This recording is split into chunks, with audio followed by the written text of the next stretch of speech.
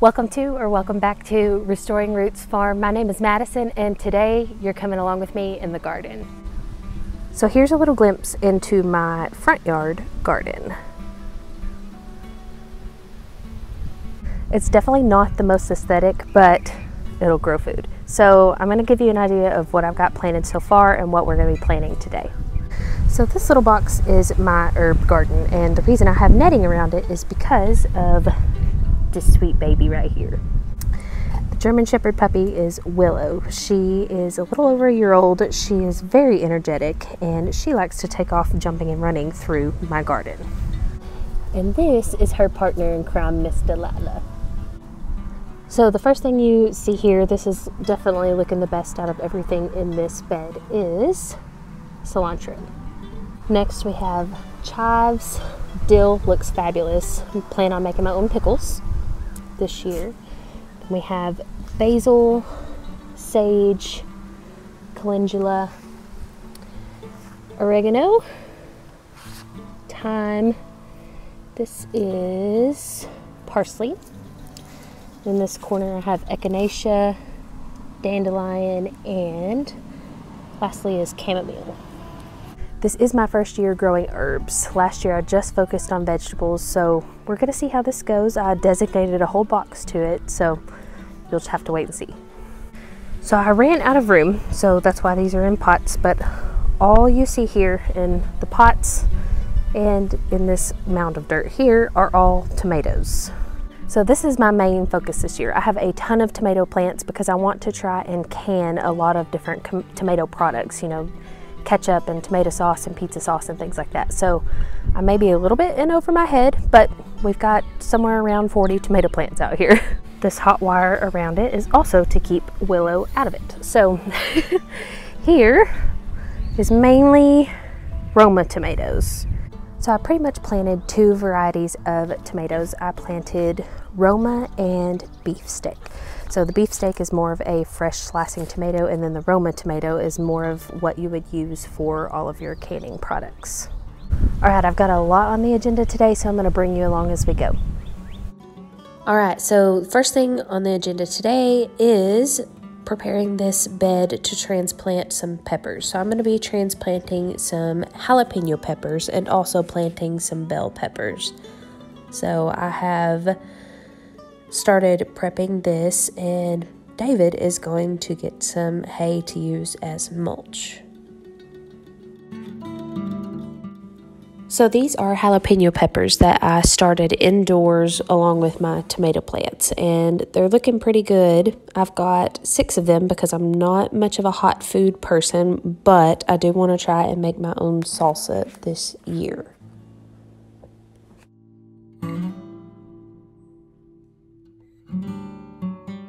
So this is a raised bed that David built for me out of pallets that he deconstructed. And there's some controversy about using them in chemical treated, but they were free, so we decided to go ahead and use them.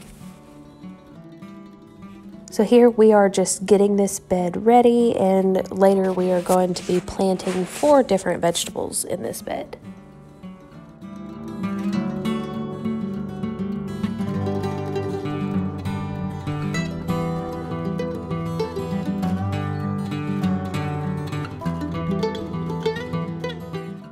So the camera didn't focus very well here, but we are planting pickling cucumbers. And depending on how tall they get, we may go back and add some trellises later to support them.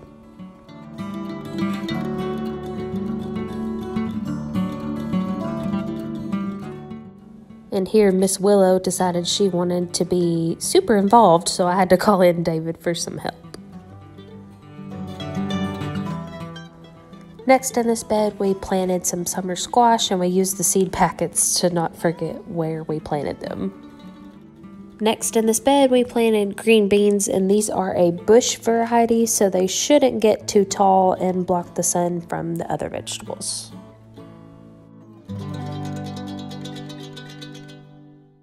Lastly, in this bed, we planted okra, and it's on the far side of the bed away from where the sun rises and sets, so it shouldn't block any sun from other vegetables either. Lastly, we put in markers so that I don't forget what I planted here. And then we moved on to putting a light layer of hay over the top so that way the seeds would be protected, hopefully, from any birds or anything like that, and also so the top of the soil wouldn't dry out. And a brief intermission for Delilah looking so cute. So this ended up going into the next day, but here we are. David is installing a drip system. Here we are with another farm mascot intermission. So while David was installing the drip system, I decided to lay out some tarp and try and figure out where I was going to plant the watermelon and corn and the wind was seriously beating me up this day, so I had to call for David's assistance. And yes, those are fence posts, but we've got to go get some landscaping staples.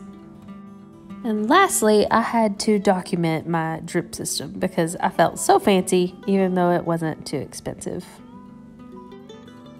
All right, if there is one thing you should know about me, it is that I am a chronic overachiever. I put way too much on my to do list, that more than I can do in a weekend. So, I split up this work into two days and I still didn't get it all done, but I'm about five months pregnant and I get tired really fast. So this weekend I transplanted my jalapeno peppers. I planted a few bell pepper seeds and then in our raised bed we planted cucumber, okra, squash, and green beans.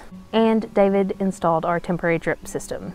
So editing Madison here, I wanted to clarify real quick that this is our temporary drip system because with us planning to put in all of those raised beds, hopefully next year, we didn't want to install anything underground. So all of this, the hose and all that stuff will stay above ground. But next year, after we get all of our raised beds in, we plan on installing a more permanent solution, maybe with some pipes underground and things like that.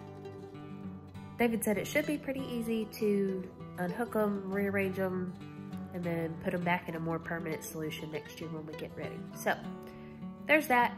Back to the video. We have a bit of a mess to clean up, but we have the herb box, tomatoes, and then we have the garden situation over here. Our long-term goal is to have that entire area full of raised beds with really high quality soil and eventually fence in the entire area so that we can keep critters out, mainly my dogs. I'm about tapped out for this weekend, but next weekend we are going to be planting a peach tree, watermelon, and corn. And we may even be transplanting some strawberries. So thanks for hanging out in the garden with me this weekend and I'll see you next time.